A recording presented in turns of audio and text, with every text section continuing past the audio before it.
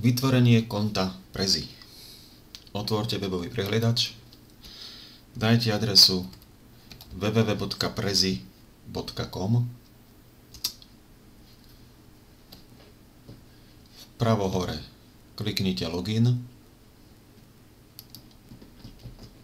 Tu je prihlasovací formulár pre prihlásenie sa, keď už máte heslo vytvorené.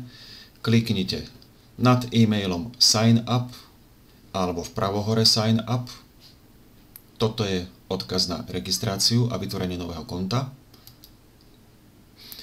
Vyplňte tento prihlasovací formulár, meno, priezvisko, e-mail platný, existujúci, vymyslite si heslo, potvrďte do štvorčeka, že máte minimálne 13 rokov, kliknite Continue a mali by ste byť prihlásení a zaregistrovaní, je možné, že Prezi vám pošle na tento zadaný e-mail potvrdzovací e-mail, v ktorom budete musieť vykliknúť ešte na nejaký hypertextový odkaz a až tým sa potvrdí daná registrácia.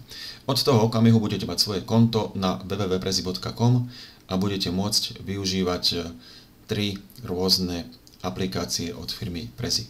Posledná poznámka.